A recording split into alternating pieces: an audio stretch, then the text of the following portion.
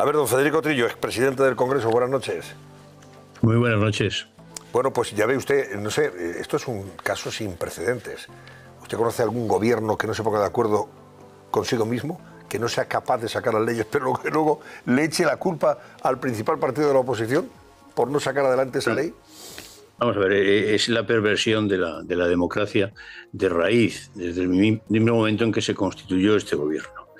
Porque eh, alguna vez he recordado que en un sistema parlamentario el gobierno se basa en una mayoría, en una mayoría estable, sea en forma de coalición, sea de programa y apoyo de programa de gobierno.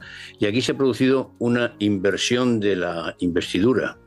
Es decir, hay una, algo que no respeta Sánchez. Bueno, Sánchez no respeta nunca las leyes, hace de su capa un sallo, hace su propia voluntad, quiso gobernar y está gobernando, y para ello no respetó la Convención Constitucional, que es absolutamente irrebatible en cualquier otro país parlamentario como el Reino Unido, en el que cuando un presidente convoca elecciones anticipadas, cosa que ocurrió en las últimas, pues si no gana tiene que dimitir al día siguiente. Es una cosa que hemos visto, vuelvo a recordarlo, en el caso, por ejemplo, del referéndum de, eh, Brexit en Inglaterra, Cameron al día siguiente salió y se marchó. Pero además debe dar paso siempre a la lista más votada, que es la que tiene garantía de estabilidad. Aquí se han invertido los términos e incluso él se presenta como el ganador de las elecciones, mintiendo, mintiendo impúdicamente, y por tanto está condenado al fracaso. No hay una mayoría parlamentaria estable y esta legislatura está finiquitada. Se mire por donde se mire. Y va a ser así un día y otro día. Y es que, vuelvo a insistir, es que no hay Estado de Derecho en España, se lo está cargando. Pero, don Federico, vamos a ver, siento eso así, eh, eh, tenemos un presidente de gobierno que es capaz de vegetar el amuclo y no irse. Bueno, a ver, tampoco es, tampoco es eterno. Es decir, que eh, las contradicciones internas son tantas que en alguna ocasión he apostado porque no llegaban al verano y al final voy a, a mantener la apuesta. ¿Por qué? Porque esa coalición de contrarios, esa coalición de facciones, tiene sus propios intereses y Sánchez tiene con cada uno de ellos varias hipotecas. Cuando las hipotecas van venciendo, pues se ejecutan y ahora mismo están venciendo todas ellas y se están ejecutando todas al tiempo. Y queda alguna más, porque aún queda por resolverse el gobierno de Cataluña y vamos a ver qué pasa en las europeas. O sea que, que no hay viabilidad, no es, ese gobierno no es una criatura viable. Eh, eh, dígame una cosa, eh, ¿vio el lance en el que el señor Feijó de la tribuna le reprocha a Sánchez cuando le está diciendo Sánchez a su vez a la que ahora ocupa la presidencia del Congreso, que usted en su día estuvo ahí, le está diciendo al de callar? Espera, vamos a, vamos a verlo y ahora me dice su, me da su opinión. Usted a mí me sacó a través de pactos con los independentistas, pero no pasa nada. Yo soy un demócrata. No, no le mande usted a la presidenta a callar, eh, a acabar, porque ya está bien. Ya está bien. Que vaya acabando. Eso, vamos a ver. Eh, ¿A usted, eh, siendo presidente del, Congreso, se imagina que Aznar le hubiera dicho, no sé, en referencia a Zapatero, dirá este que vaya acabando ya, hambre, ya está bien? No, pero no solo por mí, sino por el propio Aznar o por Felipe González. son presidentes que han respetado, saben lo que es la democracia, han respetado las costumbres, las convenciones y hasta las buenas maneras. Esto no se parece en nada, en nada de lo que se ha hecho en esta legislatura a un sistema parlamentario democrático. Esta señora, con todo respeto por decirle señora, eh, no tiene nada que ver con una presidenta de un, de un Congreso de los Diputados.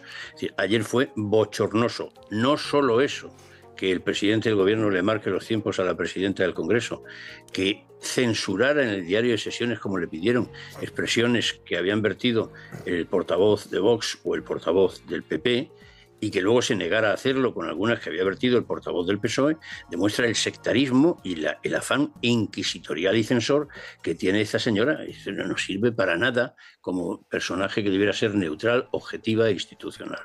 Y ahora como el ministro de... No se recuerda caso igual, no se recuerda. Como el ministro de Defensa, eh, bueno, esta salida de reconocer el Estado de Palestina este mismo mes, enfrentándose a, a, Israel, creando un conflicto diplomático que vamos a ver qué consecuencias tiene. Sobre eso también le quiero preguntar.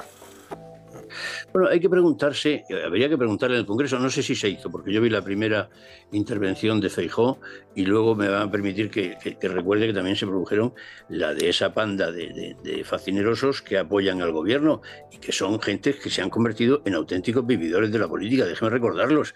Está eh, el Errejón, que lleva ya tres partidos para seguir viviendo de la política. Rufián, que como su nombre indica, vive de la política y ha perdido la mitad de los escaños en las elecciones generales y la mitad en las elecciones O Maite Zurúa, basada sobre la sangre de las víctimas de ETA. O sea que esta, es la coalición en la, que, en la que nos estamos moviendo. Claro, eh, respecto del reconocimiento del Estado palestino, que es un... Eh, en ese momento hay que preguntarle y alguien tendría que haberle preguntado, ¿de qué Estado estamos hablando?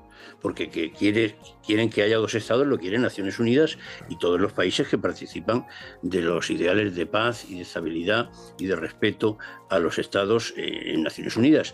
Pero en Palestina en ese momento, ¿de qué estados estamos hablando? ¿Qué gobierno es el que va a gobernar el Estado palestino? ¿El que tiene jamás en en la franja de Gaza o el que tiene la autoridad palestina en Cisjordania o el factor pequeño que le queda en el sur del Líbano. ¿De qué gobierno estamos hablando? ¿Cuál es el territorio? ¿El conquistado por los israelíes en la franja de Gaza? ¿El que de los asentamientos de Cisjordania? ¿El del sur del Líbano? ¿El de los altos de Golán? Pues claro, un Estado tiene gobierno, territorio y población. Pues vamos a ese último elemento. ¿De qué población hablamos? Mire, yo estuve en, en Gaza eh, visitando a Yasser Arafat, se empeñaron los portavoces del Congreso en visitar, además de Israel, a Yasser Arafat, y había como unos 400.000 habitantes entonces en Gaza. Hoy hay dos, había 2.700.000 en 20 años. Bueno, pues, ¿qué es eso? Pues el síntoma más claro de que eso ha sido un coladero en el que han al final prevalecido pues, las facciones terroristas que son las que asaltaron Israel eh, cuando se originó esta guerra. Por tanto, no hay ni gobierno, ni población, ni territorio, elementos constitutivos de un Estado, y por tanto no sé a qué se refiere Sánchez al hablar del reconocimiento del Estado palestino. Simplemente a la bandería de los cuatro que le acompañan en las intentadas de acampada que se han hecho aquí o que están en las universidades para ver si con eso subvierten un poco y en ese caso hacen propaganda cara a las elecciones europeas. Y las consecuencias, le pregunto, señor Trillo, porque eh, Israel, claro, el ministro de Exteriores de Israel dijo, oiga, esto tendrá consecuencias. Pero, pero, déjeme decir antes, primero para la estabilidad y la paz mundial. Es decir, no se puede romper la unidad de acción exterior de la, de la Unión Europea, que tiene poca, eh, y en la que el señor Borrell ha contribuido tanto como Sánchez a romper, con dos países, con todo respeto, como Irlanda y como Noruega. Eh, España no se puede alinear con esos países. España ha sido una gran potencia, tiene una responsabilidad, es la cuarta economía de Europa y no puede estar a la altura, perdón, ¿eh? pero no es, no es un país para estar en esa, en esa línea. Tendríamos que hablar con Francia, con Alemania, con Italia, con el Reino Unido, pero estar en esas posiciones marginales pidiendo el reconocimiento del Estado palestino es producir un desequilibrio en la Unión Europea y un desequilibrio en el orden internacional, porque no le quiero ni decir cómo rompemos o cómo nos estarán contemplando desde los Estados Unidos. Es romper el equilibrio mundial. Aparte de eso, por supuesto, es enfrentarse a Israel. Israel se sabe que es no solo una potencia eh, tecnológica, sino sobre todo una potencia financiera. Fíjense, el otro día eh, me divertía mirar, eh, no sé qué periódico lo publicó, unos cuantos, los accionistas principales del BBVA y del Banco de Sabadell, en la OPA que están realizando. Bueno, el primero de los accionistas de ambos me parece que es el fondo BlackRock, ¿no es eso? Sí. Bueno, pues es judío. Vamos a dejarnos de tonterías. Es decir, los fondos más importantes del mundo están constituidos principalmente por capital judío. A esos son los que vamos a ir tocándoles, metiéndoles el dedo en el ojo. Desde el punto de vista económico, desde el punto de vista militar es una auténtica locura. Pero ahí Sánchez lleva las de perder porque son los dueños también del software, no solo de los muchos que se han mencionado, algunos esta noche en el programa he podido ver, sino también del Pegasus de forma que no van a liberar para nuestros ejércitos algunos software, pero sí pueden liberar el de Pegasus para el juez francés y el juez español que lo ha pedido, y a ver qué encontramos ahí. A propósito del hackeo a los teléfonos móviles del gobierno, especialmente de, de Sánchez, ¿no? Exacto. De Sánchez, del ministro de Defensa, del ministro de Justicia, que vuelvo a decir, es incomprensible como un Estado democrático de derecho se permite que un Estado tercero hackee los teléfonos de los primeros gobernantes. Bueno, hay quien dice que Francia está liberando ya algunos datos, entregando a la justicia española algunos datos, y que eso es lo que habría puesto más nervioso a Sánchez el día en que salió con esta milonga de la reflexión de cinco días, ojo, ¿eh? Bueno, eso fue fantástico. Lo de la reflexión de cinco días eh, eh, es algo asombroso, porque además luego no se extrañe el que, tiene por primera vez eh, repercusión internacional en toda la prensa reconocida con lo de su mujer, que no se queje luego si se producen incidentes como el de Milley. Él ha sido el que ha elevado a categoría de noticia internacional el incidente de su mujer. En lo que, por cierto, no sé si se ha confirmado o no que está siendo investigada, es decir, está siendo tratada por el juzgado como en forma de la ley. Ahora mismo lo que hay, don Federico, lo que hay es efectivamente unas diligencias que ha abierto, que están abiertas ahí y que está instruyendo el juez eh, y hoy lo que se ha conocido es que hay unos nuevos eh, eh, movimiento, asociación que se ha incorporado como acusación popular.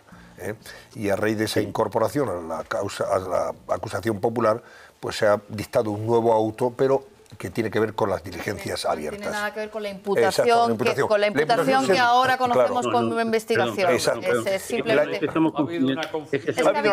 Hay una confusión. Que algún medio todavía mantiene, eh, pero que no se, no se relaciona con la realidad. Es que ha parecido que salía un auto donde ya o se la llamaba o se la consideraba investigada, lo que antiguamente era imputación. Y no es así, pero, pero es un fallo de comunicación importante, porque el primer folio del juzgado, en este juzgado pone investigada Begoña Gómez. Exactamente. No, se puede utilizar un término desde el punto de vista, no sé si descriptivo, no sé cómo llamarlo, para algo que es una no, pero algo que es una figura penal, es una figura que es una tipología, ¿no?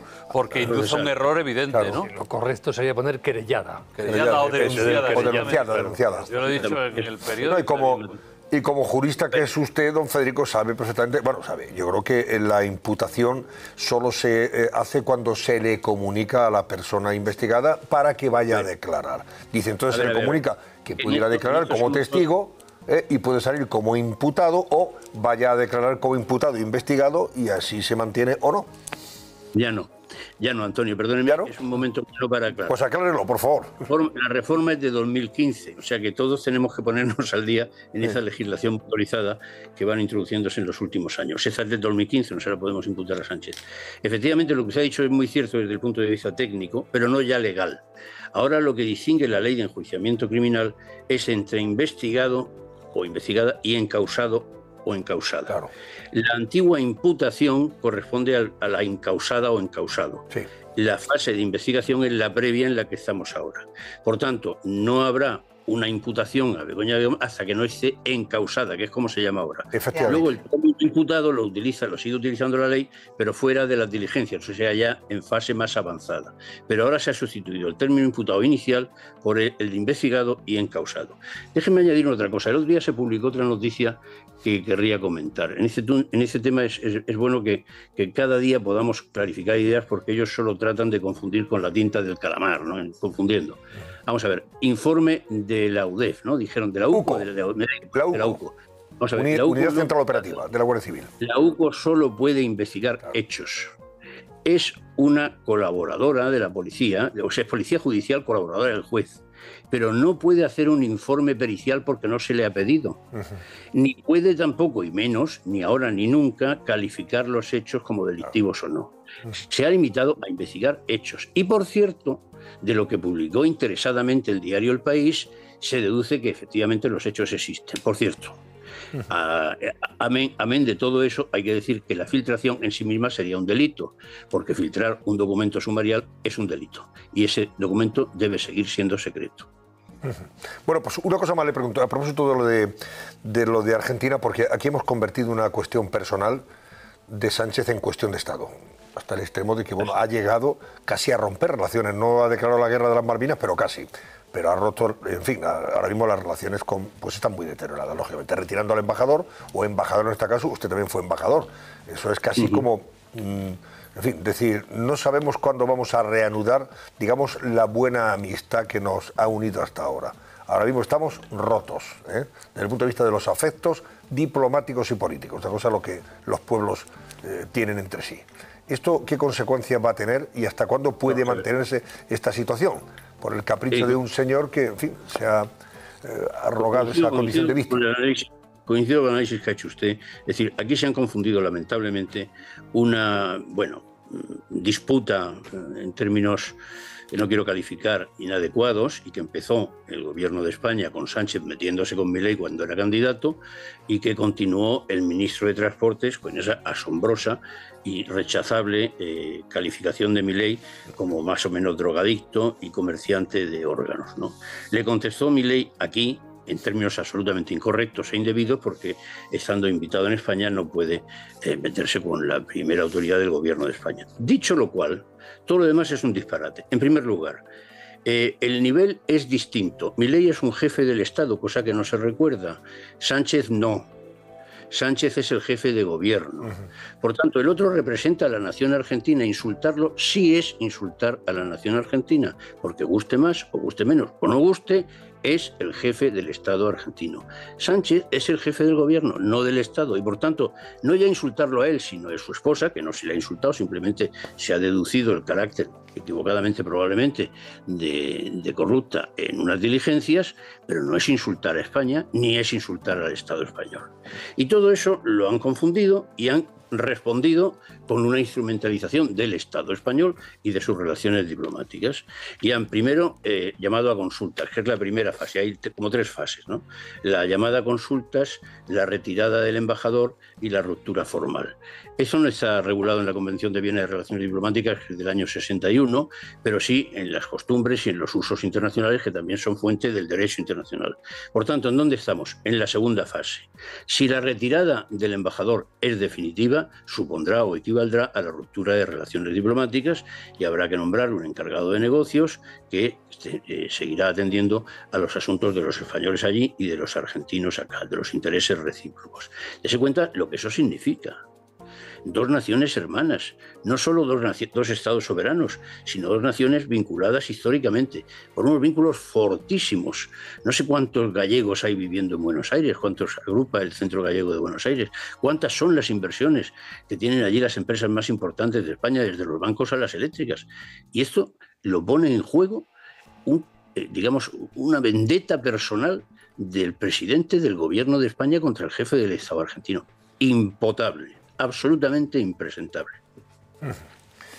Bueno, pues vamos a ver cómo se sustancia todo esto, señor Tillo. La verdad es que eh, algunos dicen, hombre, Mirei viene el día 28 a España, el 28 o el 27 no viene a España a recibir un premio y tiene previsto hacerlo, aunque el gobierno ha dicho que, que igual le, le, veta la entrada. Yo creo que eso es imposible, vamos, eso sería... a ver, eso también... Ya el desiderato. Me ha, sorprendido, me ha sorprendido mucho esta tarde porque incluso algún medio, eh, también la confusión en los temas, en los temas jurídicos, eh, a, mí me, decir que me gustan porque así podemos aclarar los juristas, es el señor Blanco que aquí estoy yo, para aclarar estas cosas. Vamos a ver. Eh, no puede el gobierno prohibirle la entrada al señor, al jefe del Estado argentino, de ninguna manera y menos en un país europeo. Se cita en algún medio el artículo 9 de la Convención de Viena, la que he dicho, Relaciones Diplomáticas de 1961. El artículo 9 es para cuando se quiere prohibir la entrada a un diplomático de un determinado país por razones que sean, porque el Estado receptor no tiene ni que justificarlo. Pero a un jefe de Estado de ninguna de las maneras puede negarle al gobierno de España. Parece mentira que ese, ese, ese menesteroso del ministro de Exteriores actual que tenemos pueda decir cosas semejantes. Parece mentira. Don Federico Trillo, veniendo te, ría. No, iba a preguntarle a don Federico, veo que tiene un tono y que se entiende eh, beligerante. Denos alguna razón para los optimismo. Usted que es observador de la vida política española y europea y británica de forma de mucho tiempo, danos, Federico, alguna razón para la esperanza, por favor. Bueno, yo creo lo que he dicho antes. Yo y, don Benino Blanco lo sabe bien porque somos eh, viejos amigos como en la lucha provida y hablamos con frecuencia. Eh, yo hice la apuesta de que ese hombre no llega al verano. ¿eh? La sigo manteniendo. Sé que es jugársela pues a una sola bala, ¿no? Porque queda muy poco para el verano. Pero creo que son tales las contradicciones en las que está incurriendo y tal la huida hacia adelante a la desesperada que esto se está acabando. Sinceramente lo creo.